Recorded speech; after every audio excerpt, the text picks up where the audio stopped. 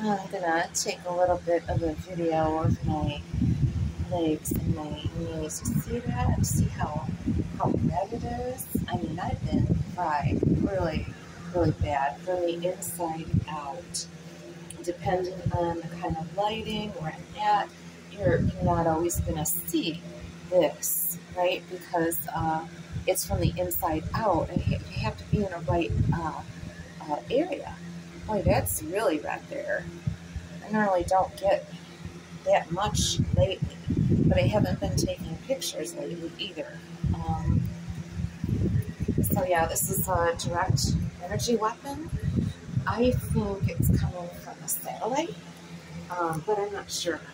Um, you know, these cartels do have the, uh, they have people everywhere, and they have the ability to hack into stuff because they've they've sent people into the military. Um, I know that for a fact. I know some from years ago. So here we go.